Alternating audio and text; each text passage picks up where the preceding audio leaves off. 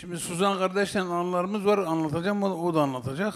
Az önce anlattım mı benim asker arkadaşımın kardeşi. Sen mi büyüksün o mu büyüktü rahmetli? O büyüktü benden. Öyle mi? Ee, bayağı büyük aslında yaş farkımız vardı. 70 O ka- kaçta rahmetli oldu? gitti. 70 kaçta?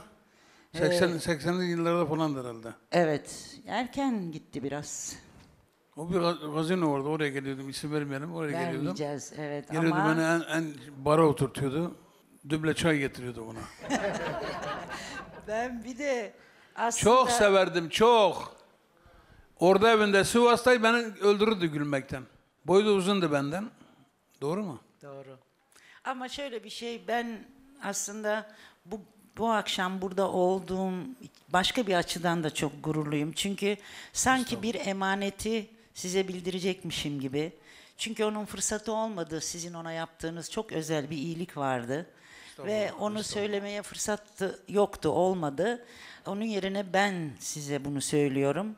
Ve e, tabii ki e, ölümünün o günü sizi beni arayıp da o Suzan nasıl haber vermezsin kardeşimin Evet. gittiğini diye bana kızdınız. Ama o kadar ani oldu ki her şey. Öyle bir şey olamadı. Mekanı cennet olsun. Olsun inşallah. Ama size de buradan ben onun adına teşekkür ediyorum. Estağfurullah. Sivas Temeltepe'den. Siz orada evi. Evet. Ben orada evine geldim oradaydım. Sonra o da evet. Sivas- Temeltepe'de tanışmadık. Orada Ha, evine siz geldim orada- ben.